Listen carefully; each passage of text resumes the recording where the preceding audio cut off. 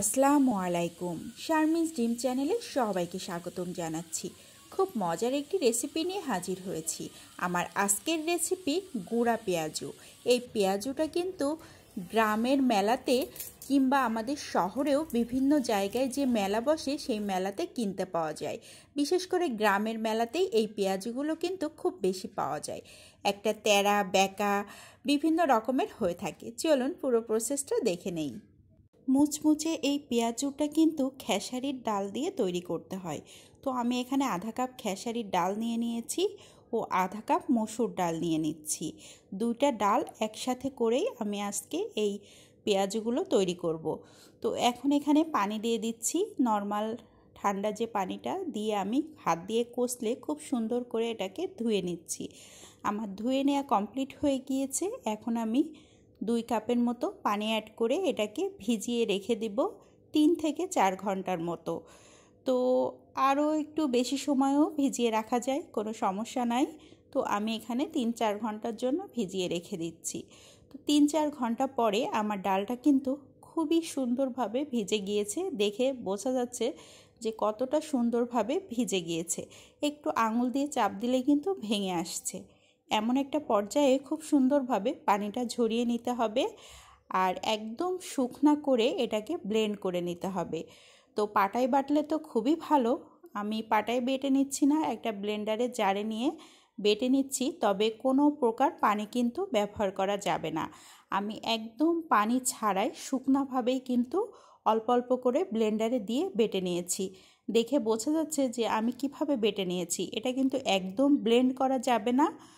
মানে একটু ছাবা ছাবা থাকবে সেই অবস্থায়। এখানে এক কাপ পেঁয়াজ ব্যবহার করব। পেঁয়াজুতে তো পেঁয়াজ অবশ্যই লাগবে। তো পেঁয়াজটাও কিন্তু আমি একটু মোটা মোটা করেই কেটে নিয়েছি। আর এখানে কাঁচামরিচ ব্যবহার করছি। কাঁচামরিচটা খুবই মানে ছোট ছোট করে কেটে নিতে হবে। যতটা সম্ভব ছোট করে কেটে নিতে হবে। তাহলে দাঁতের নিচে পড়লে মরিচটা বোঝাও যাবে না, আবার টেস্টটাও বেশি আসবে। এখন আমি পেঁয়াজের সাথে মরিচটা অ্যাড করে দিচ্ছি।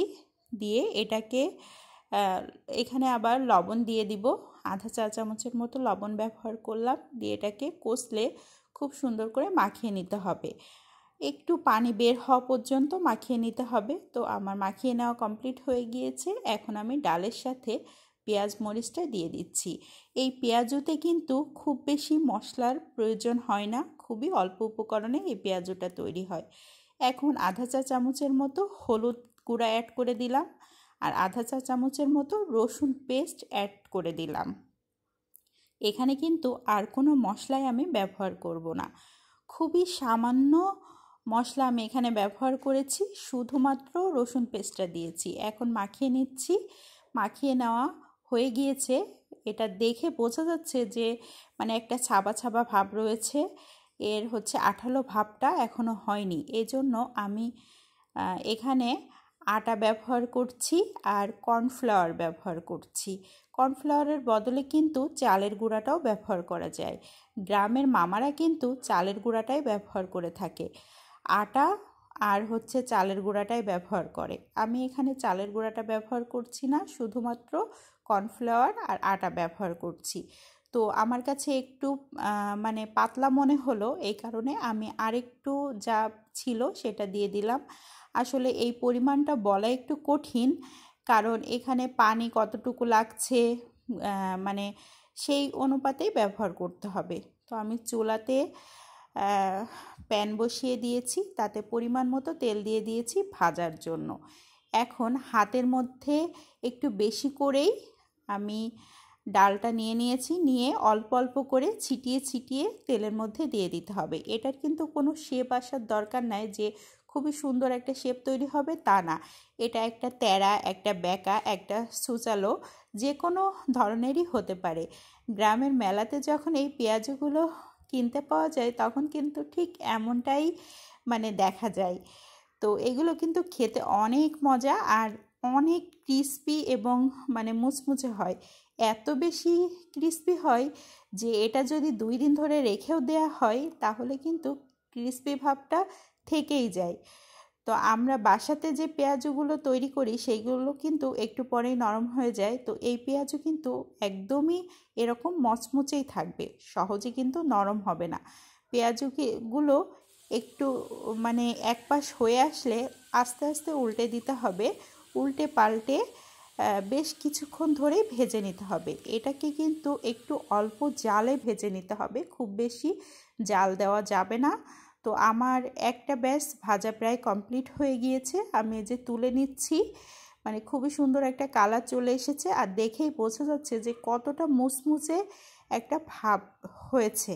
তো একটা ব্যাচ ভাজা কমপ্লিট। আমি আরেকটা ব্যাচেও দেখাচ্ছি যে আমি কীভাবে পেঁয়াজগুলো তেলের মধ্যে ছাড়ছি। এটা দেখে বুঝে নিতে হবে যে আমি কীভাবে পেঁয়াজগুলোকে তেলের মধ্যে ছেড়ে দিচ্ছি। তো আরেকটা ব্যাচও আমি ঠিক একইভাবে ভেজে নেব। তো আমার পেঁয়াজও ভাজা কিন্তু কমপ্লিট হয়ে গিয়েছে। দেখেই কিন্তু বোঝা যাচ্ছে যে কতটা সুন্দর এবং ইয়ামি হয়েছে।